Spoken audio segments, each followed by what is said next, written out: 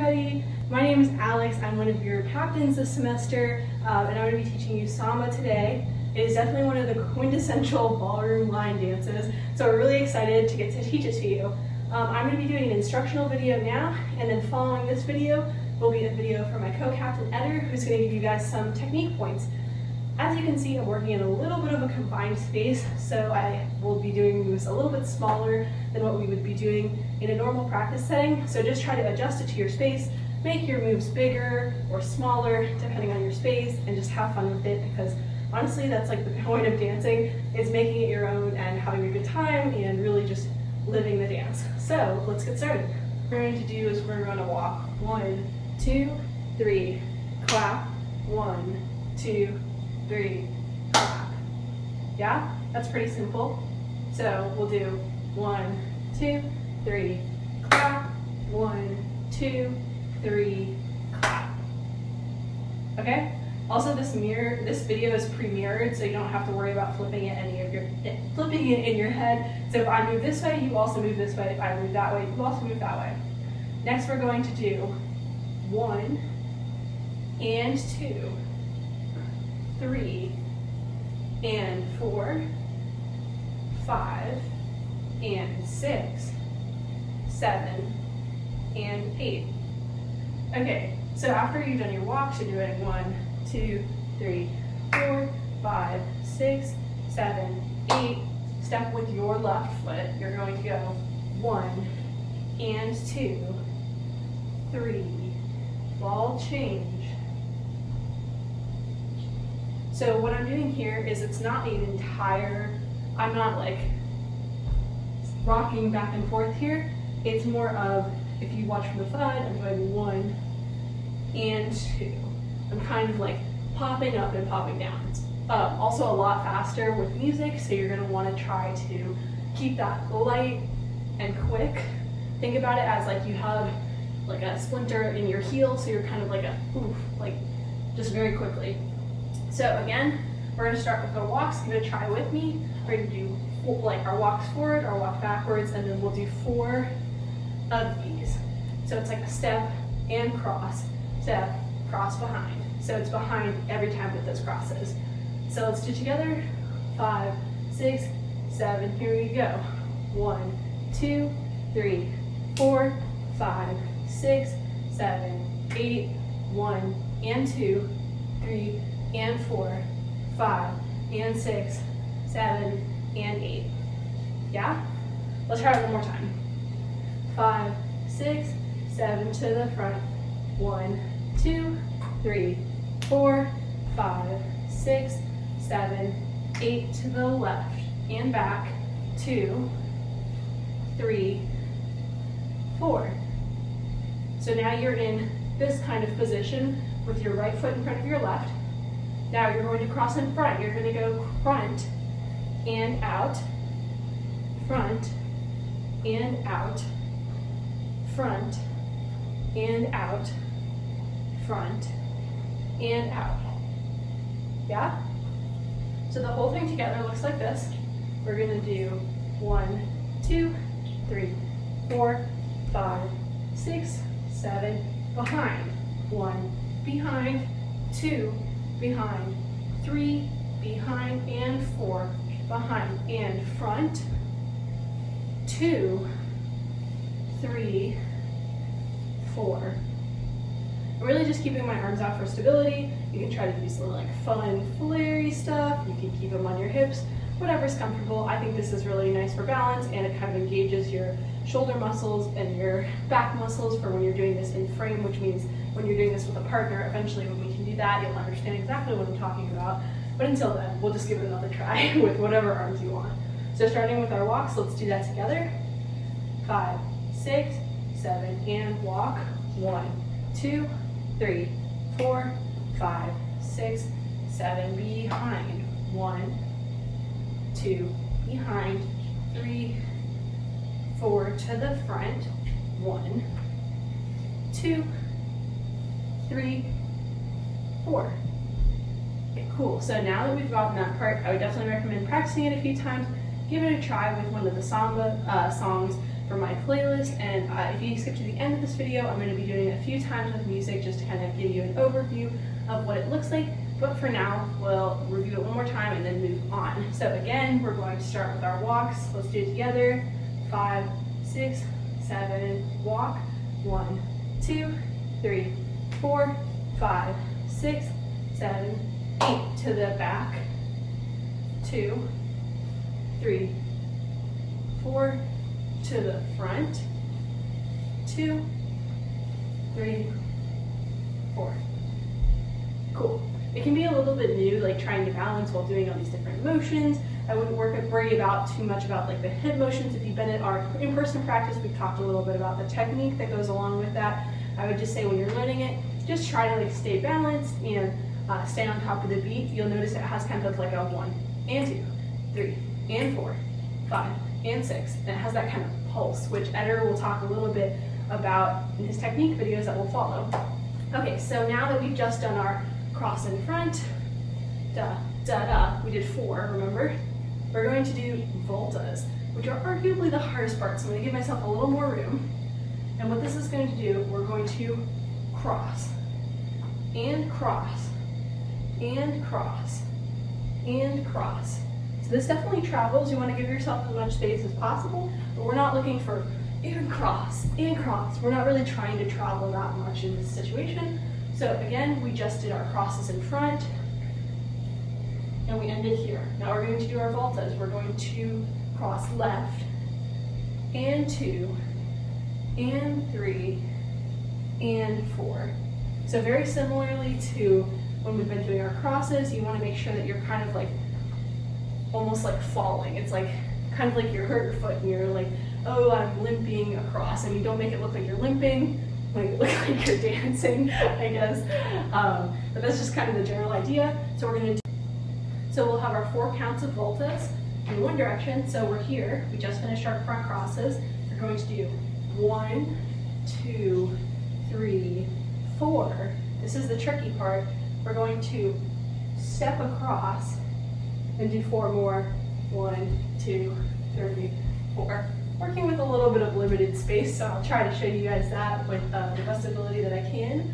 Um, so again, we just finished our one, two, three, four, voltas, one, two, three, four. And what this step cross is, is I'm really just taking my right foot here planting it in front and turning over my right shoulder. So this isn't a spin or anything like this. I'm not like unraveling. You really want to protect your knees at all times. So what you're doing here is I'm doing, I'm going to go all the way over here. From here, I'm going one, two, three, four, step. It's really a step. Two, three, four. This step kind of turns into your first volta on the other side. So again, what this is going to look like is one, two, three, four, one, two, three, four. Okay? And once you've gotten to that part, so you just finished your fourth volta, all you do is you start walking forward on your left foot, you go one, two, three, and you start over, and that's the beginning of the like repetition of the line dance. So pretty much how this works is you do it facing one way, you do it facing the other way, you do it facing one way, you pretty much just keep going with that same repetition. And the reason that works is because we have our voltas, these crossing things that change direction. So that's how you get from facing one direction to the other.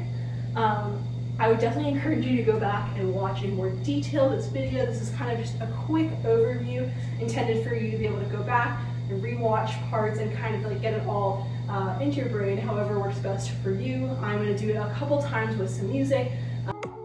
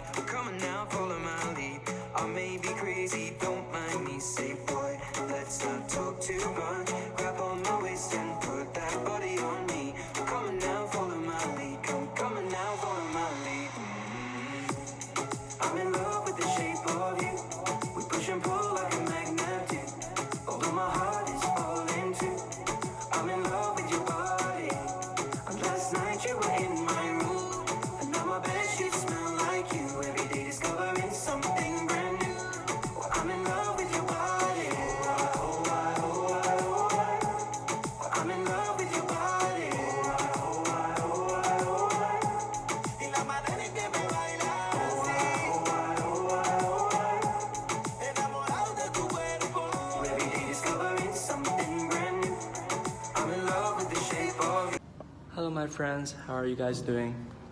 I see the photos that you guys are practicing in the rack, and I really want to be with you guys. But I'm in China, and I'm away from home, and this is a place that I found near where I live. That miraculously there is a studio here, so I can take this video for you. And I'm not wearing a mask because my city is basically safe here. Um, when you guys are practicing, please do so and protect yourself and take good care. You guys can see. I'm not wearing dance shoes because I don't have them. I will have them next week. So, um, before I talk about techniques in samba, I want to talk about techniques, general techniques in rhythm, because this is very important in samba. So, we have point out the feet, what we want to do to protect our knees is that our knee our our knees are gonna point towards the same direction as our toes are. So if I'm standing like this, I'm gonna point forward, and if I have point out, same things happen. My knees have to point out. I don't want to do this, so my knees are pointing in front of me, and my toes are pointing out. That's gonna hurt because you have this twisted knees and what you want to do to prevent that is you, you want to have your tension, have tension on your thighs, and get it back here. So, for, for example, in rhythm, in, in rumba, when we are doing box, go slow and quick. Here, this step, it's very um, likely that you do this. And if you transfer your weight in this way, that's gonna hurt. So you want to have your knee point out to the same direction of your toes. So you're going to go quick and quick. So again, we go forward. So you don't want to have your knee like this, but here. Same direction as your toes. Slow and here. Same thing. Quick, quick. And backward, it's the same thing. So normally we, we are here, and when we are walking back, our knees are pointing forward. And you don't want to do that. Going to point out a little bit, follow your toes. See I'm here. This is wrong. It's to hurt your knees. But if you twist out a little bit, because my toe is pointing out. So my toe is pointing out. I don't want my knees to point forward. I want here. So slow and quick, quick. And the best demonstration is in samba when we're doing the basic. Because ideally, professional what professional dancers are going to do is that in the basic they do, they're here, open hip, and then they're going to twist their hip together with their knees and their toes. So you want to go from here and one. Here they're gonna twist and turn until they can't turn anymore and go back. And three. And four. And one. So when we are doing this turn, you wanna have our knees, hips, and toes turning together. It's all one direction. So what you don't want to do is that you're turning your knees and you see my toes are not turning. And this twisted knee is gonna hurt you. What I want to do instead is that as I'm turning, my toe is turning as well. So I'm doing this instead of this. This. That's gonna hurt. And same thing for the right foot. So I'm doing this, and my whole body is turning all in one direction. And that's gonna prevent from getting hurt. So let's get into samba.